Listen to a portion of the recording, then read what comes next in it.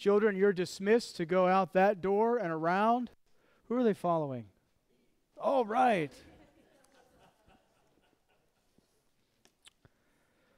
If we have any parents here this morning who were not able to see the setup last week, you're welcome to go out and check uh, check out the, the setup for the children in the back. Uh, who everybody got a handout? Hey Jason, turn the lights up for me, buddy. I'm known for dull, monotonous sermons, and I don't want anybody to fall asleep. Is, did I just lie? I lied in church. Good thing there's a bishop there I can go confess to. That's right. Please open your handout. The sermon title this morning is Salvation Belongs to the Lamb. If you have a Bible, you're free to uh, go ahead and open up to the book of Revelation. For those that, that do not know, and I think this is, I mean, I, understand, you know, I understand why maybe some don't. Um, some churches don't. But there are some churches that will not read from the Revelation in the lectionary, let alone preach from it on Sundays. Many Orthodox churches are that way. In contrast, we have many churches in America that have giant wall charts explaining how the book of Revelation is going to be fulfilled. And I took the liberty of uh, introducing some folks in the church a few weeks ago to a genre of film that I have dubbed Christian horror. Say, what is that? How many of you ever saw A Thief in the Night from 1972? How about the success, the, the movie after it? A Distant Thunder. And I don't want to spoil it, but when Patty's under the guillotine, I mean, that's Christian horror at its, at its apex. If you've never seen it, they're all on Amazon Prime, and you have homework this afternoon after you visited with your mothers. So we have these contrasting poles with the revelation. And largely it's because people fail to understand it, that they ignore it, or they go into an over literal reading of it. I don't believe that there is a dragon that will rise from the sea literally. That's a shock to some people.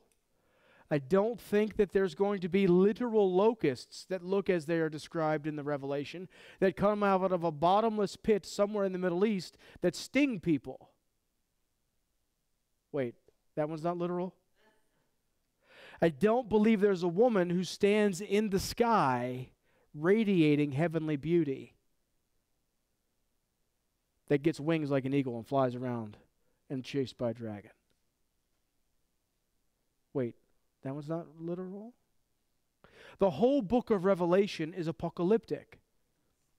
Apocalyptic doesn't mean confusing. Apocalyptic doesn't mean the end of the world. Apocalyptic, apocalyptic means revealed, explained. So, all of the pictures in the Revelation are meant to explain things so you don't misunderstand, not so you get confused. And you have a pretty good chance here that if you can say, I don't understand how any of it works, go to any passage in the Revelation and find one of the visions and begin to work through it. And if you can nail down about 90% of what that vision means, you've nailed down 90% of the whole book because it's visions on repeat. Different visions telling the same story. It's worth it, Emily. It's totally worth it. I could go into an outline if you'd like. I mean, chapter 1 is the introduction. Chapters 2 and 3 is Jesus addressing the churches. Chapters 4 through Goes past seven. Ten. Chapters 4 through 10 is a series of judgments. You get into chapters 10, there's an intermission in the book. The story changes. John goes from seeing these, these uh, seals and trumpets, and now he's going to get recommissioned to continue to, to prophesy because of the angels standing upon the land and the sea. We come into chapter 11, and there's two witnesses. 12, 13, and 14 is one story about a woman, a dragon, and a baby, and the kids involved in the process. Chapter 13, right between 12 and 13, is that infamous Antichrist even though the term is not used. We just get two pictures of two different kinds of beasts. You see, it all is apocalyptic. It's all explaining and making sense of things in a world that's confused. Maybe that should be our Bible study in Sunday school. That would take 10 years, but maybe we should do it. we have to start sometime, that's right. So, salvation belongs to the Lamb. If you want a, a phrase that explains a large portion of the book of Revelation's message, it's that right there. Salvation belongs to the Lamb. And this is a key point. Point one of salvation belonging to the Lamb is what we see here in this chapter standing before the Lamb. The points this morning are geared around our reaction to the Lamb to whom salvation belongs, or if we're going to say it in older English, belongeth.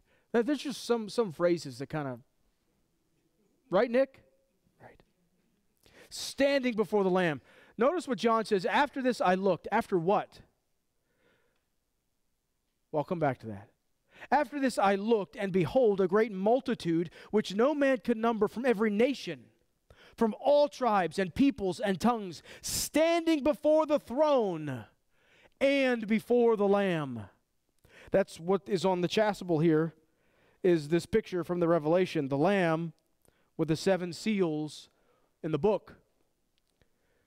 And this is what the lamb does in the revelation is he breaks the seals so you can read the scroll.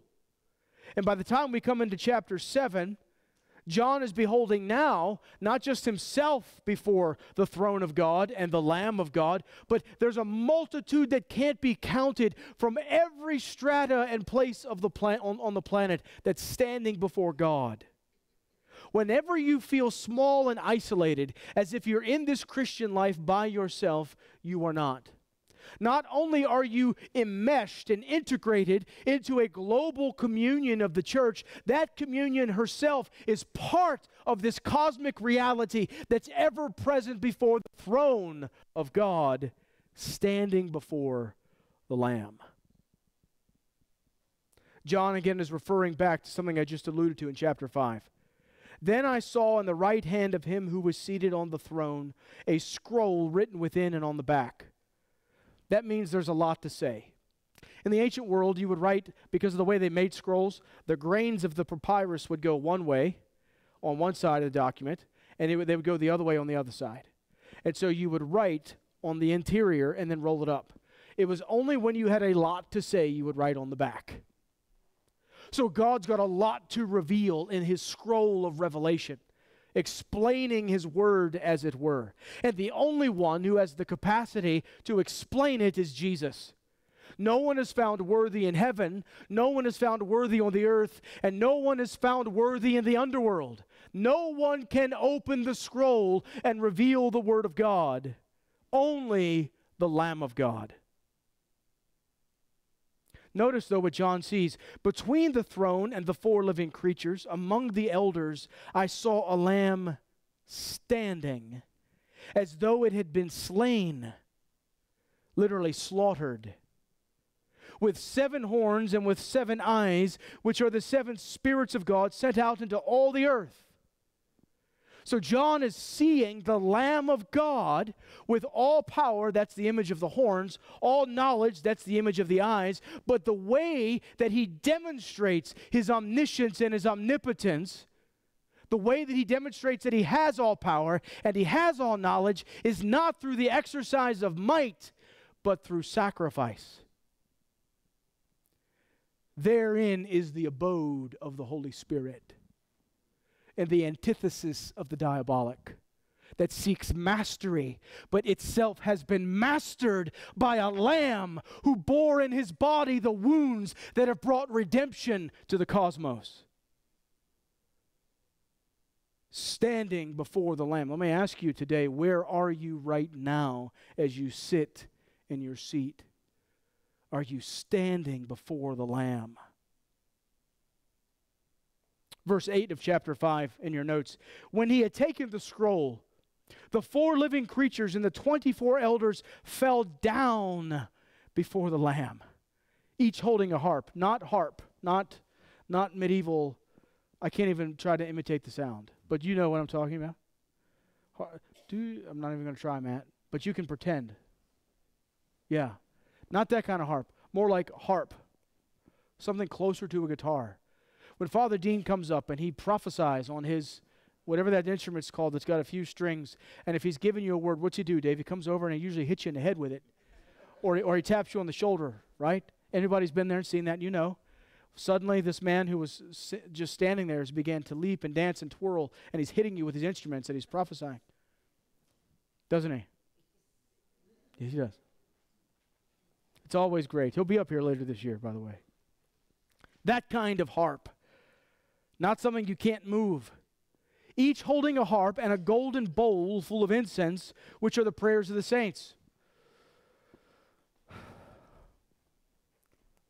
The thurible, when it's active, when we have, when we have three acolytes, it's going to be happening.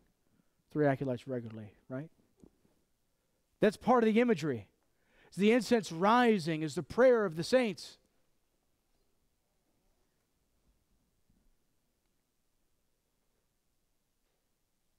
I don't believe a lot of Christians understand that the Lord wants them to pray because he wants to hear from them.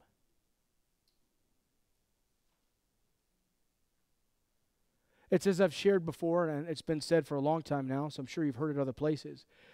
Is God mostly mad, glad, or sad?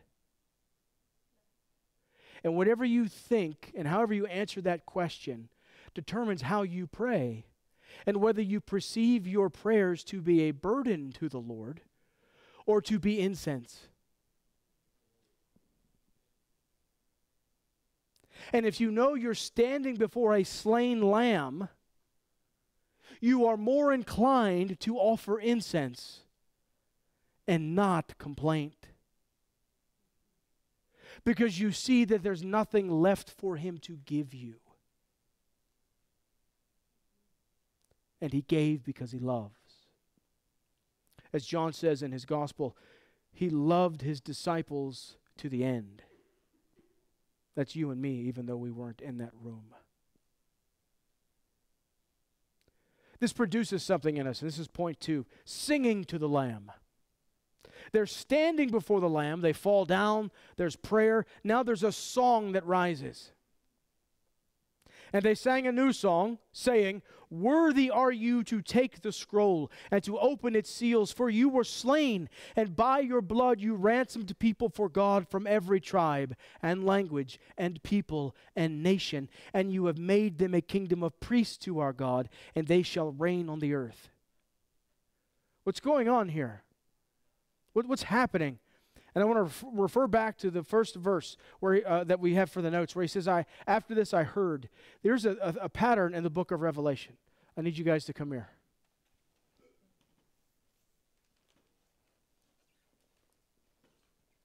This is going to be good. Okay, I need you to stand right here. I need you to stand right here. All right. Now here's John. Here's what it's like when John's in heaven. Okay, you you following along? He's he's he's he's, he's looking at something else and he hears the lion of the tribe of Judah. Go ahead, get real menacing looking, like look a lot like a lion. I know you had to shave, but go ahead. That's not that's not tough, buddy. Come on. A lion. Uh, come on. There we go. There we go. So he hears the lion of the tribe of Judah, and he turns to see a slain lamb.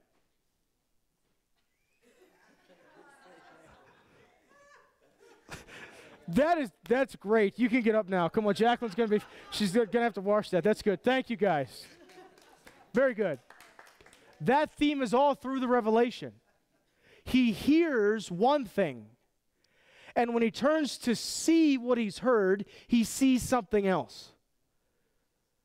So he hears the lion of the tribe of Judah. And when he turns to see this magnificent royal beast, he sees a slaughtered lamb because it's one thing with two aspects. That theme is all through the Revelation. In chapter 7, he hears 144,000, 12,000 from each tribe. So he turns to see the elect of Israel saved, and he doesn't see that. He sees a multitude from all over the world that no one can count. You see, you have to discern in community because God will speak something into your soul that grips you powerfully, and you'll try to walk that thing out and ultimately walk into ruin because you didn't understand what you heard is not what you will see. Because what you need to see is the, the complement of what you heard, because both go together. What, is the, what does it produce in us if we walk that out in a healthy way, but singing? Singing and making melody in our hearts to the Lord. Is your spirit downcast when you walk around your office place? Sing louder.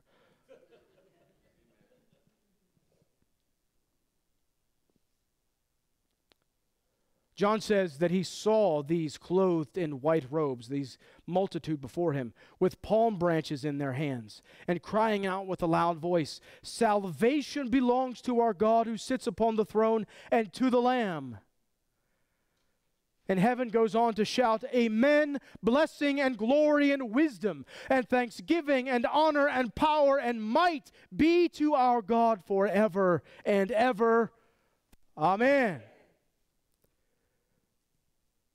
You need to break spiritual darkness that's on you, you got to sing. You're in despair, you got to sing. And let me tell you what some of the good stuff to sing. Dig up dig an old hymn out. Dig out a chant from Anselm in 375. Dig out something that pulls you from here. So it goes beyond the repetition, but starts to pull from the depths. I know there was a, this uh, one time I was staying at a church where I was uh, working at, um, and that felt a particular sense of, of darkness one night. Matter of fact, there was all kinds of very, very unusual or extraordinary is the word Luke uses in the book of Acts. Extraordinary uh, power encounters I kept having while I was spending a few months working in this particular church. Um, I wasn't as a pastor; I was just there helping out with things, and um, one one night the, the, the sense got so oppressive. And I had already been praying, like I had been praying before it started. To see, some people do that. They'll pray, they'll start to sense of an oppressive force, and you know what they do? They stop. Like that's that you got it backwards.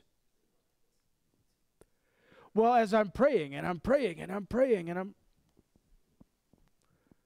it's nothing's happening, Nick. And I'm thinking, no, wait a second. This isn't how it's supposed to go. And so then finally, with this heavy sense of darkness in this spirit, moment of spiritual warfare, I pulled out some of the old camp meeting songs we used to sing. And I didn't sing them loudly because it was like one o'clock in the morning. But I started to sing, There is power, power, wonder working power in the blood of the Lamb. There is power, power, wonder working power in the precious blood of the Lamb. And the devil's afraid of the blood of Jesus. He's afraid of Jesus. A lot of you folks that, are, that, that get, get caught up in spiritual warfare, I want you to understand this. They are afraid of him. And so instead of trying to like pretend the problem you're dealing with isn't really happening or to coax yourself to get rid of it somehow, just start to worship the Lord. Because the moment he decides, he, he doesn't even have to manifest his glory in a Red Sea splitting kind of event. Did you notice that in the Gospels, the slain lamb demonstrates his power simply by being present? And his presence both provokes and then expels them. Stop fearing the thing Jesus beat by dying. When you're standing before the Lamb, you will start to sing to the Lamb. And for those of you who are wondering with the way the story went, I didn't get through a couple stanzas of the song, and my voice never got loud, but the power and presence of the Holy Spirit came in in such a tangible way that I fell asleep within just a few minutes because the peace of God transfigured the atmosphere. Thirdly, This next one is an Easter message, so I need you to bear with me in it, okay? It's going to take a second. I may even need an ex- another, but you guys just keep that water handy because you might have to do some burpees or something. okay, here we go. I, matter of fact, I heard about a priest who wouldn't give absolution, or part of the absolution was they had to do so many burpees. Yeah, people were coming in, and they, you know what burpees is? Like it's it's a it's a you you guys want to demonstrate? No, not in that, not in that. It's it's a full up and down jumping jack. I'm not going to do it in this either. Adam could do like 35, and Noemi could do like a ton right now. They're in the army.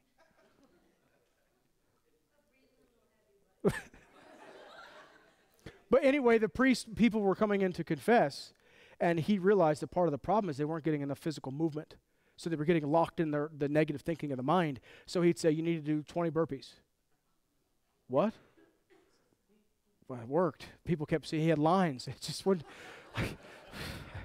maybe we got to put that in. I don't know. Anyway, so so keep with me for a second here with this third point: sharing in the Lamb.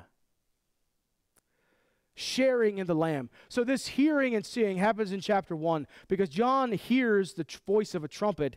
And when he turns to see the one whose voice is like a trumpet, he sees Jesus dressed as a high priest standing in the midst of the golden lampstands, and the lampstands of the churches.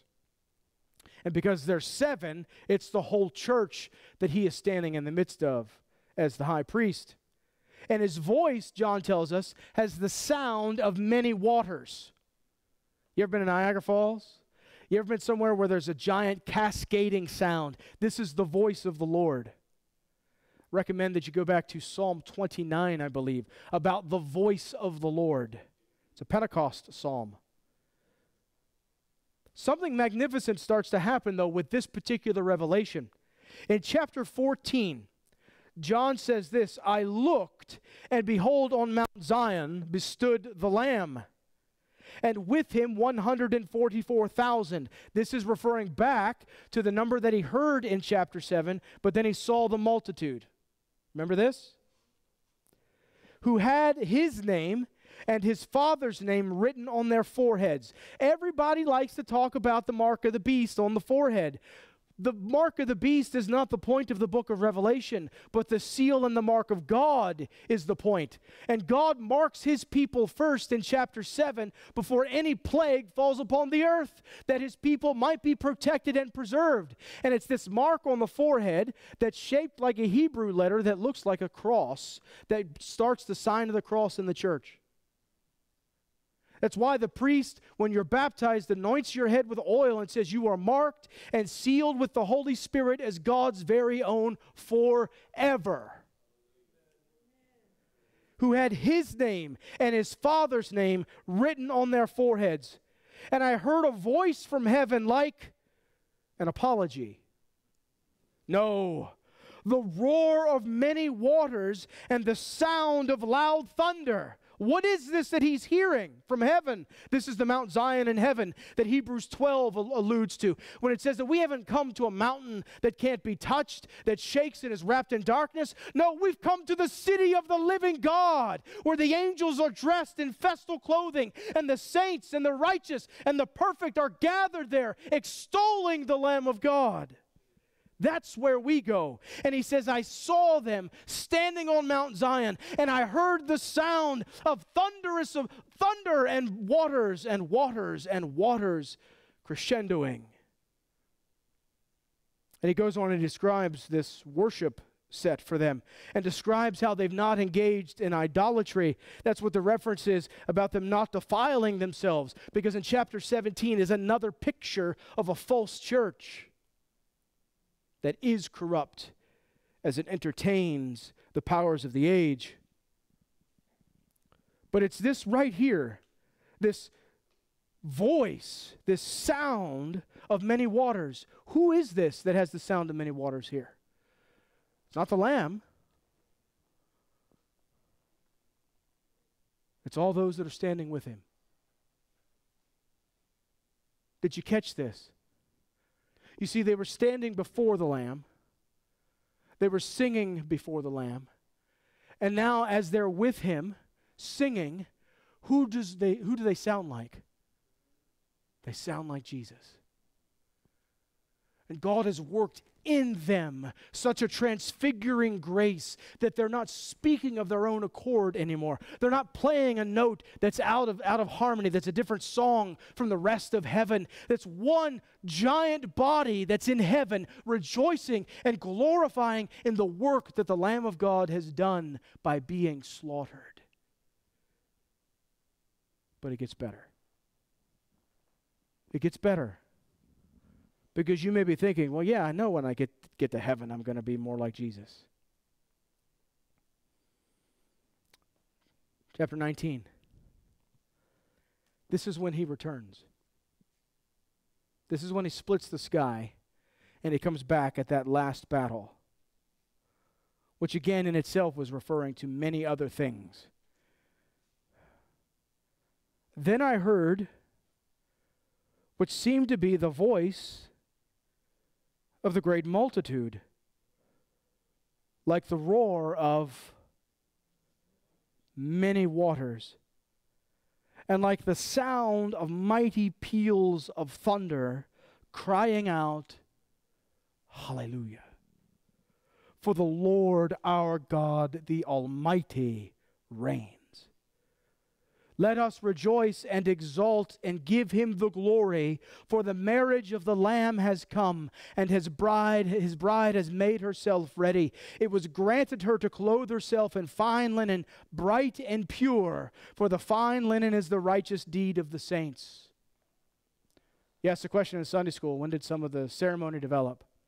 When the Oh, Romans raided a church worship service in about 302 AD. They confiscated several dozen white robes that were being worn by the church. They confiscated gold and silver chalices and bowls and candlesticks. They stole the shoes, white shoes that were worn after baptism. When did the church start wearing white? Why did she stop? And what we see right here is God working in us so that we will sound like Jesus. Doesn't matter how lousy your week's been, my friend. You hear this? Doesn't matter what's been going on. It doesn't matter how difficult, what kind of struggles you've had. If you are abiding in the life of God, the Holy Spirit's transfiguring inside of you what Jesus wrought once for all upon the cross because you're a member of the body of Christ. Salvation belongs to the Lamb, and the Lamb is working in us that transfiguring glory that will not settle for anything less than sounding like that good shepherd who says, Follow me. Stand with me.